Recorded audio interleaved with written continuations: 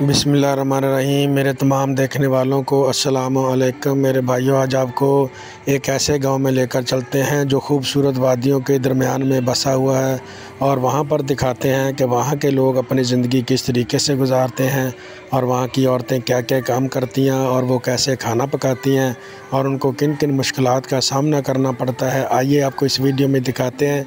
हमारे साथ रहिएगा।